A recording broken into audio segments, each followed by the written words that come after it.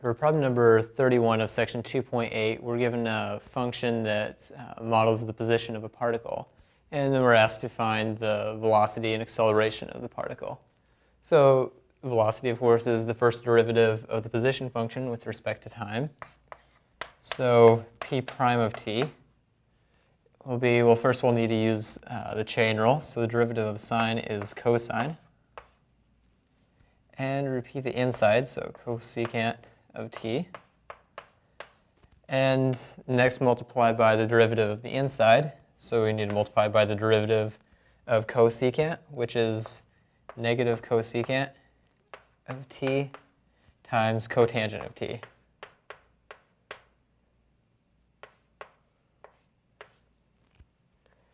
Or we can, uh, actually that's as simple as we can get it there. And the acceleration is uh, second derivative of position. So we'll need to apply the product rule first. So let's uh, take the derivative of the first, first part here. So I'll have negative sine of cosecant of t.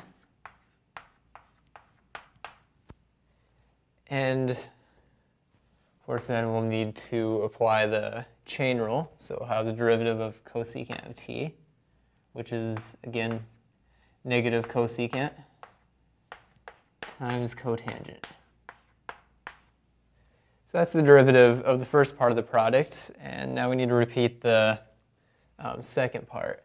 But the second part is negative cosecant t, cotangent t, which we already have here, so the negative signs will cancel out, and each of these uh, trig functions will just be squared.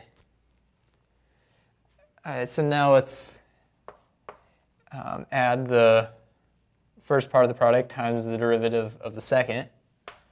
So cosine of cosecant times the derivative of the second. And now it's should just pull out the minus sign to make things a little bit easier. So we'll actually just be taking the derivative of cosecant t cotangent t. So now this is the product rule. So we want to take a derivative of cosecant t, which is uh, negative cosecant cotangent. And we need to multiply that by cotangent. So have a squared term there. And now we need to add cosecant t times the derivative of cotangent, which is negative. This becomes negative. Uh, become negative cosecant squared.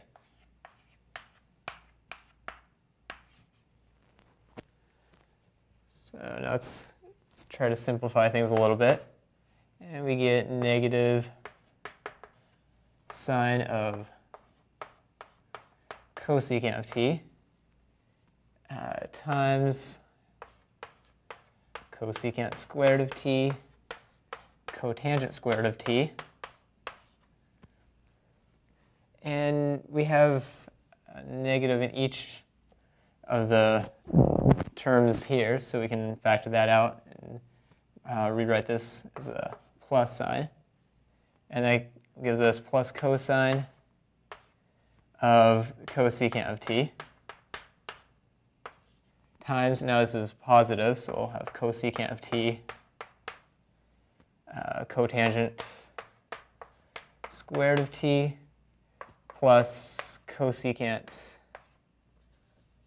uh, cubed of t. And this entire formula right here would be the uh, equation modeling the acceleration of the particle.